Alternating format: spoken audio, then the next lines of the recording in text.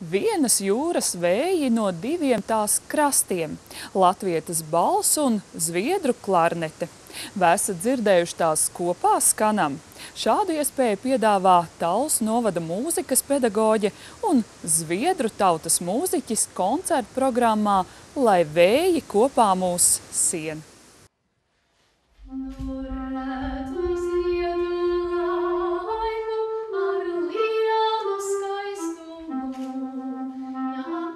Vienas jūras vēji no diviem tās krastiem.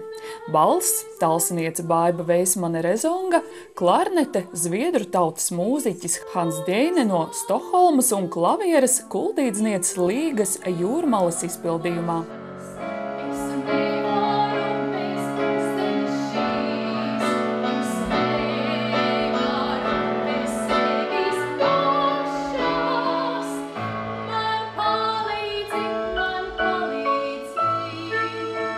Jaunais starptautiskais projekts Lai vēji kopā mūs sien tapis mūziķu sadarbībā izmantojot komponistu Daigas Rūtenbergas un Jāņa Lūsēna oriģinālu mūziku, kā arī populāras zviedru melodijas balsī, klarnetei un klavieru pavadījumam.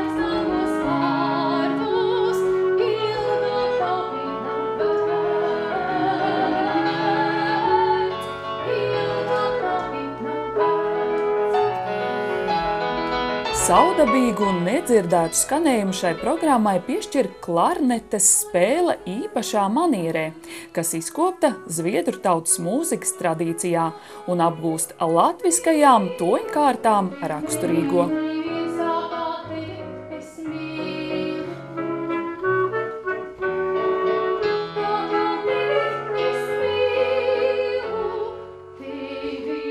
Projekts stiprina starpkultūru dialogu, ir interesants divu kultūru vienotības un kopības apliecinājums un jauns izaicinājums mūziķu profesionālajā sadarbībā.